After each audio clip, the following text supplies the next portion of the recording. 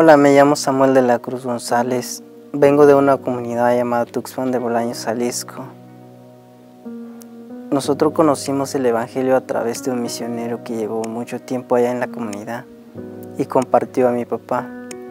Y mi papá nos compartía a nosotros, compartía con sus hijos. Y yo, yo escuché por primera vez sobre el misterio de Agua Viva a través de un misionero que llegó y nos recomendó el rancho de Agua Viva.